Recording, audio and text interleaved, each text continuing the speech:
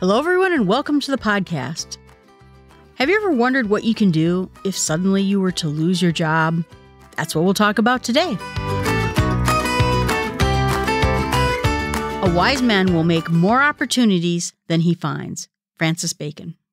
Right now, it's a tough time for everybody. I think that there are places that are looking for a lot of people to work, which is great, but there are a lot of places too that are struggling, never recovered from the pandemic, or are finding hard times in this inflationary period to keep their jobs. And so today we're going to talk about what you can do in order to find a new job. We're going to talk about the book, Overcoming Redundancy 52 Inspiring Ideas to Help You Bounce Back from Losing Your Job by Gordon Adams. I think this is a good time to talk about this book because there were a lot of places that did okay during the pandemic. You know, maybe it was a tech company and people were working from home and the tech company did rather well. Think about all those delivery services that people made use of during the pandemic. But then when people start going back to their regular activities, they might not need those delivery services the same way, or restaurants that tried to hang on and just couldn't make it happen. And so I thought this book was particularly good at telling you not necessarily step by step about how to find a job, although there's a ton of really great advice about how to do that in this book but it's a lot of mindset when it comes to what you do in order to find a good job. And so he said the first step is when you lost your job is to not freak out or get down. I lost a job that I did not like, but it was stressful to me. It was something that I really needed to find to do something else. And it was in my nature to just feel like I'm just going to sit and play video games. I'm just going to sit here and ignore the fact I need a new job and just take a little bit of a break. But then a lot of people came to my side and told me that when you're looking for a new job, that's your job when you don't have one. But don't freak out. A lot of times, getting a new job is about how many places you apply, look, talk to someone. And so you have to think about all the places, and he mentions this in the book too, that you've come since your last job, all the experiences that you got. You're not the same person as you were eight years ago when you started this job, or even three years ago when you started this job. You learned a whole host of new skills that you're really going to bring to that next job. And so, taking into account what better person you are today, what new things that you've learned so that you will be a better employee for a better company in the future is going to help you. This is actually a huge opportunity for you to do something else and do something that you like better. It is scary to lose a job, particularly, you know, when you didn't want to lose the job, but it's not the end of the world and you will find another job. It's a time too where you don't want to burn any bridges. There are people I know who have done that in the past where they left a company and when that company turned around and they were looking to hire back some of the people they let go, the first people off that list were the people who left in an ugly way. You can be mad about a company, you can get disappointed in a company, but you have to realize that all these people are people too. And if you burn bridges, which is analogous to just being mean to them or saying awful things to them, that's going to ruin your chances if things turn around in that company for you to get hired back if you want to get hired back, or even for them to give you a good reference. There were so many people that I had good relationships within the company, they almost became helpers to me to help me find a new job. Oh, I heard this person was looking for a job and this company's great. In fact, when I took that next job, it came because this person referred me to that company, told me what a great company it was to work for, and gave me some people that I could talk to about the job. So, not burning bridges, even though it might feel really good at the moment, is a great way to start in looking for a new job because when people think of you fondly, they'll become helpers to you. And then start even thinking about your own options. What do you want to do? You know, even think outside the box.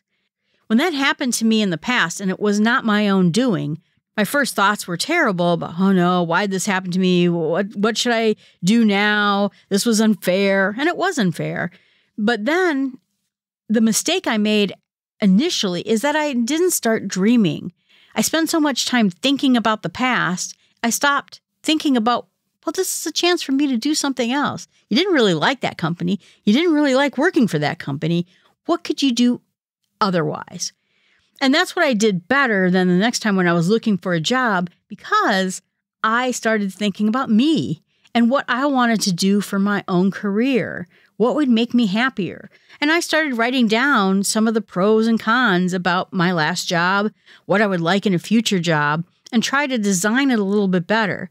So I even had this checklist of what I wanted in a job.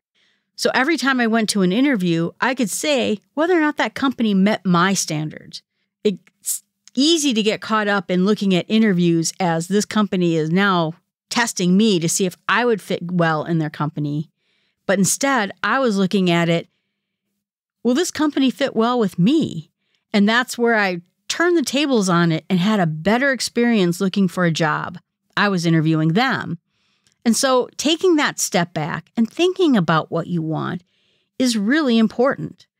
The company I worked with was a pretty terrible company. It didn't take into account employees or employee happiness at all. And it felt like there was a gigantic floating axe waving over everybody's head all the time. And I decided I never wanted to be in that situation again. So that was important that there was work stability. Beyond just thinking of this as a new opportunity, maybe this is a time to change industries. You didn't even like the industry you were in. I decided at that point I was never going to work in this type of company again, and I never have. And I think it was a good decision. But maybe it's a chance for you to work part time or a different type of schedule or maybe you wanted to do something that was a little bit more inside your interest instead of just taking a job to pay the bills. But think about it. What is it that you want to get out of work beyond just insurance and pay? How can you find a job that fits your life? And it's really easy, he says, for us to get stuck, depressed, feeling like we're in a rut when we've lost our jobs.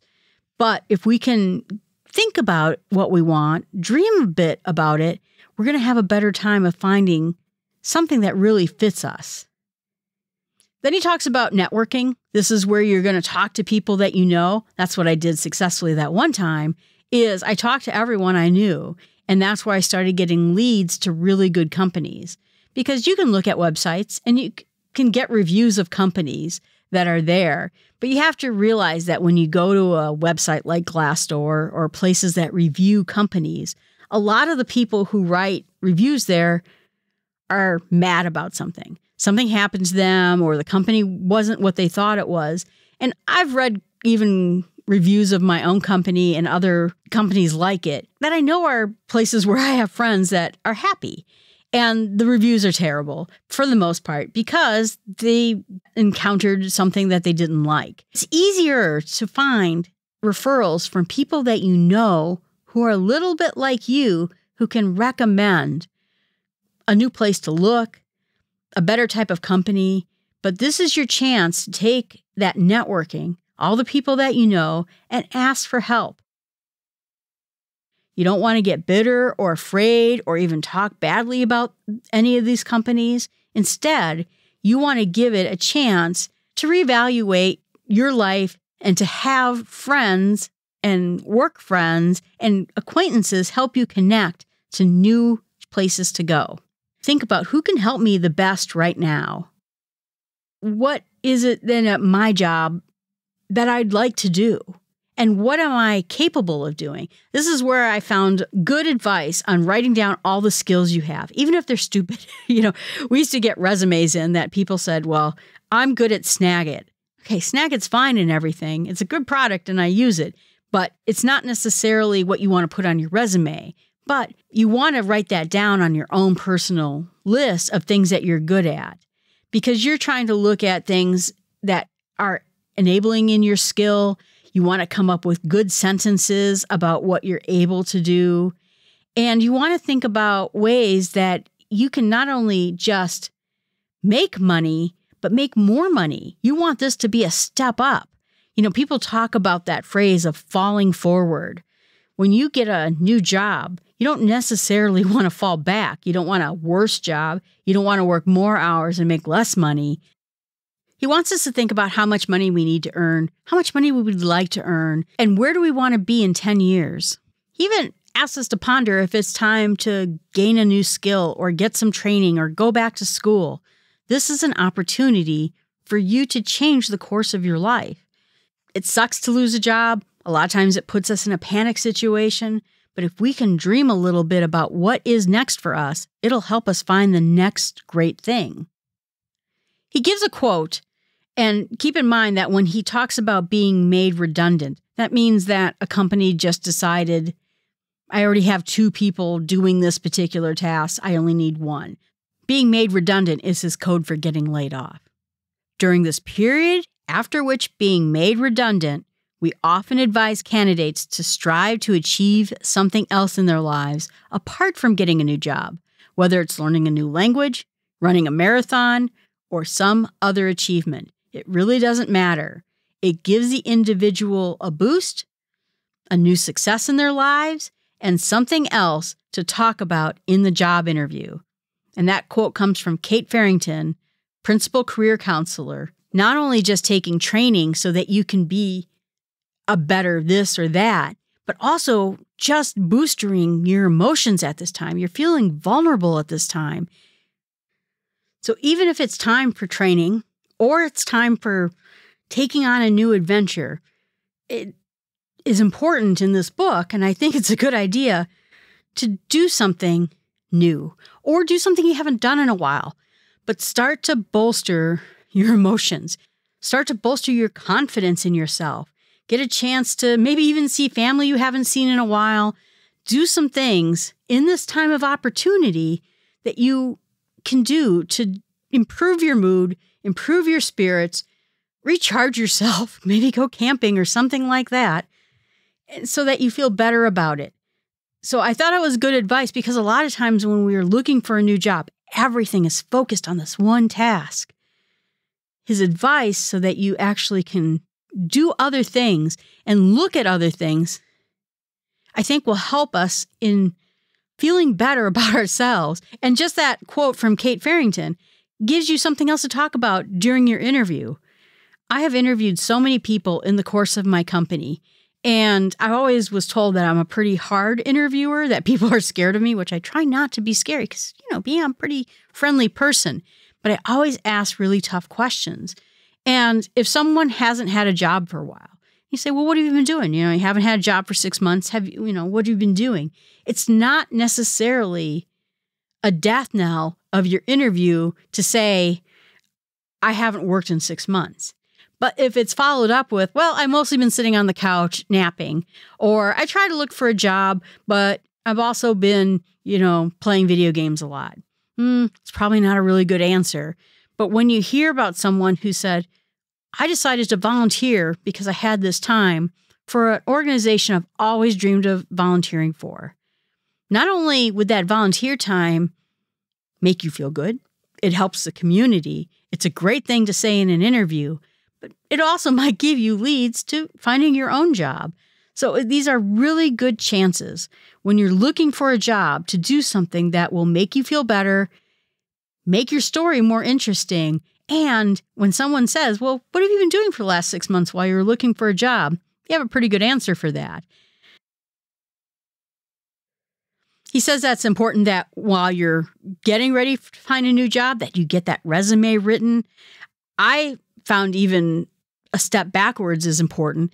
That when I lost my job and I didn't have that other job, I was so stressed out. It was hard for me to write a resume. So, what I decided after that point is that I would never not have a resume. That as soon as I was given a new task, a new challenge, I would put it in my resume.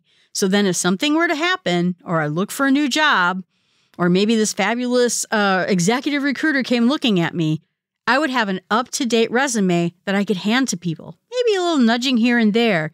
But when you lost a job, is the last time you want to be writing your resume. You want to have a resume available all the time.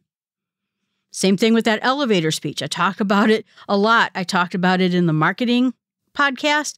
I have episode 19, which talked about how to write an elevator speech, but you want to be able to have something which he says, quote, the nature of a good elevator speech is punchy, snappy, and upbeat, a distillation of who you are, condensed and served up in a bottle.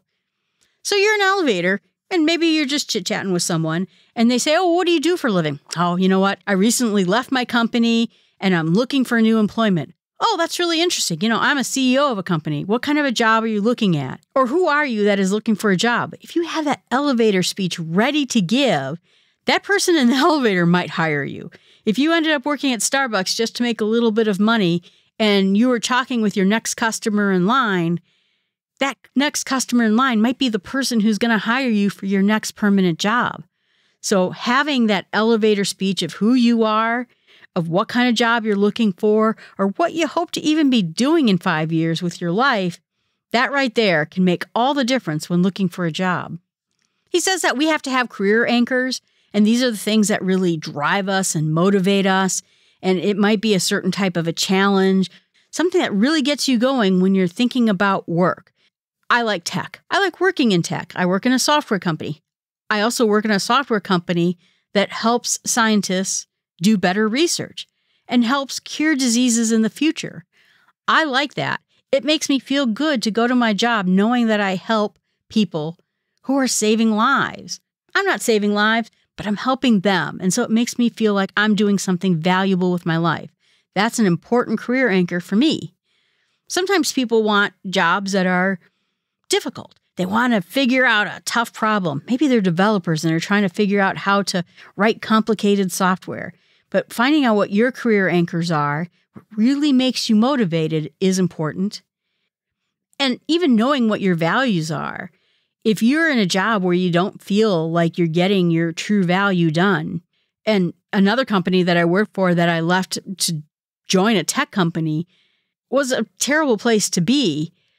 And I realized that it was making me unhappy because the ownership of the company changed. The people were no longer interested in producing technical people in technical resources, having happy employees. The whole company changed when we were bought out.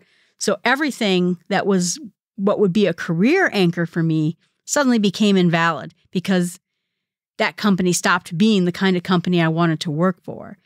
So he said that a lot of counselors or advisors will try to help you see something that you don't see that maybe your values, your career anchors aren't being met in the job that you either have or won't be met in a job that you're trying to get.